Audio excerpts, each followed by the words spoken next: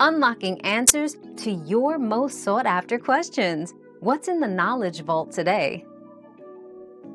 Frogs have remarkable adaptations for holding their breath underwater. Depending on the species, a frog can hold its breath for several minutes to even hours.